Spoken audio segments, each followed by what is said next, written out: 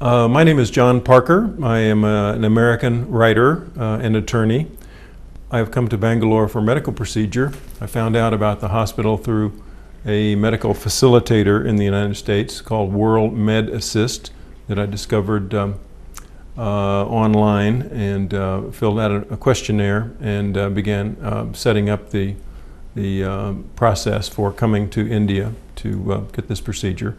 I've had uh, chronic atrial fibrillation for about three years.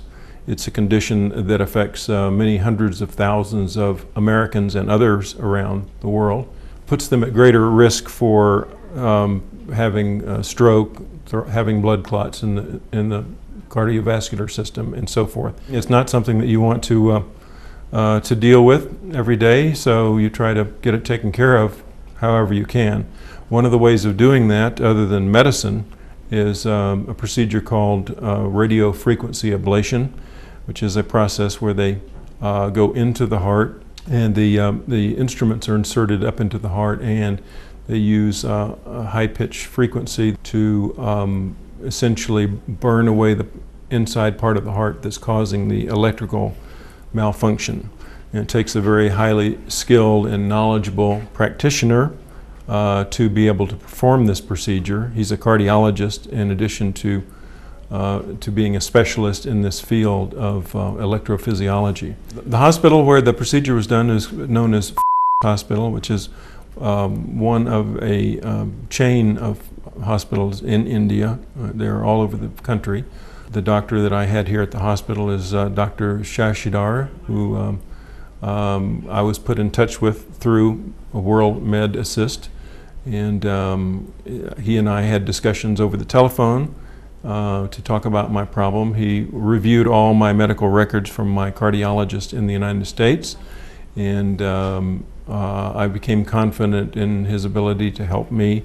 And so, consequently, I, uh, I um, set up the um, procedure through World Med Assist, who helped me get the visa and make the travel arrangements procedure was done um, approximately a week ago, and uh, I've been um, staying here in Bangalore um, at a hotel nearby the hospital and uh, uh, basically recuperating from the procedure, and everything has gone uh, extremely well. So, any kind of medical procedure like uh, like this is a very serious undertaking, and I think people should should approach it quite cautiously and be very confident in their doctors and be very confident uh, in their hospital, as I am in hospital. And um, and I, I, think most people who come for, for such a procedure will be very, very pleasantly uh, and happily surprised at the kind of uh, care and attention and service that they receive from uh, health care providers.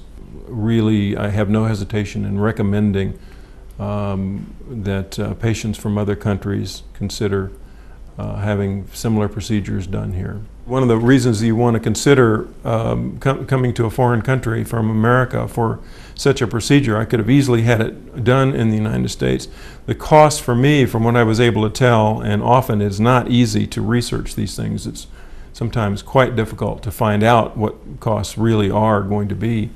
Uh, but as best I could tell, uh, the cost for a procedure like mine would have been up in the in the area of $100,000. I was able to um, have this the same procedure done with the same equipment and uh, very skilled practitioner and hospital care and everything uh, for one fifth or one sixth of that cost. I think the uh, the the payoff is is well worth all the effort that, that um, a patient would go through to, uh, to accomplish uh, getting their procedure done here.